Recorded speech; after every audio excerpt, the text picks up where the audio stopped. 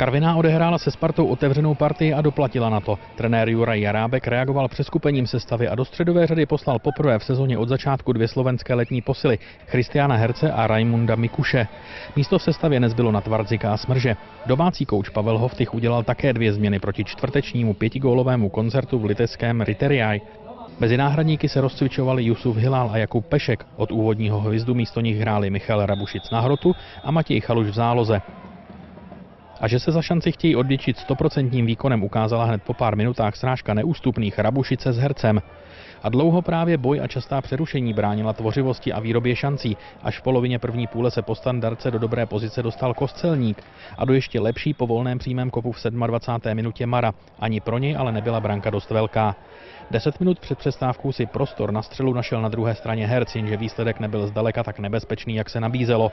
Smutné byly poločasové statistiky. Žádný gol, sedm střeleckých pokusů, za to 20 faulů. Aj pán rozhodca pískal troška úzkostlivo, áno, bol to prvý zápas jeho lige, jeho prvoligový Fortuna Goli zápas, bolo to cítiť.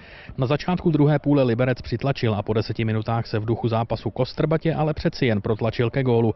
Kam Somara po šikovné kličce trefil jen Moskeru, ten ale rychle zareagoval a jeho pokus z otočky umístil do vlastní sítě obránce Defe. Liberec se tak dostal do vedení. Na začátku zmiňovaní Hilal a Pešek se dostali do hry spolu na závěrečnou půlhodinu a právě Jakub Pešek mohl zajistit svému týmu klidnější závěr. Rychlý protiútok v 75. minutě ale pokazil. Nejtěžší pro domácího golmana Nguyena bylo nestratit pozornost a pak lapit dalekonosnou střelu, kterou na něj vyslal Eduardo. V závěru se pak právě Eduardo z obrany vysunul dopředu a vyplatilo se. V poslední minutě se nečekaně otevřela domácí obrana, k němu propadl míč a brazilský obránce zajistil Karviné bod. Vítězná série Liberce se přerušila po remíze s Karvinou 1-1. Defe. Další dlouhý nákop. Papadopoulos jde do vzduchu, zvládl to s Kačarabou a pozor, tady je velká šance a vyrovnání!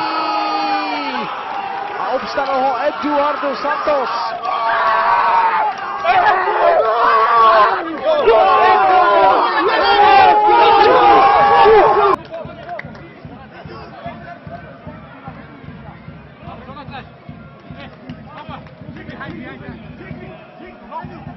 Takže vysunutí stopera Eduarda Santose na hrot se teď Karvinským vyplatilo.